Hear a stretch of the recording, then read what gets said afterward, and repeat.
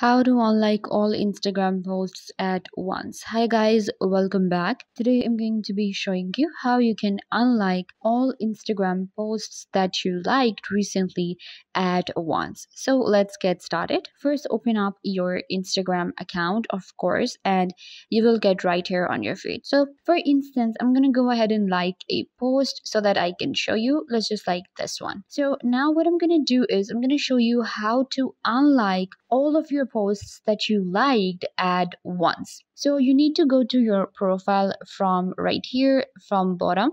So this is our profile. Once you open it up, then you have to click on these three lines at the top right corner and it will open up settings, archive, activity, saved, close friends and more. So now we have to click on your activity. Once you click on your activity, then we have time spent, photos and videos, interaction, account history and more. So I'm going to click on interaction, go to like and here we have all of our liked photos. To unlike all at once, you have to select them. So you're just going to click on this select option here and you're going to select the ones you want to delete. So I'm going to go ahead and select these from here and now I will click on unlike you can see we have this option right here at the bottom of the screen so I'm gonna click on unlike and click unlike again and you can see right here I have unliked these photos from here and this way you can also go ahead and unlike all of your Instagram photos at once. I hope that I was a big help. Don't forget to give this video a big thumbs up, turn on bell notification, leave a comment and subscribe to the YouTube channel.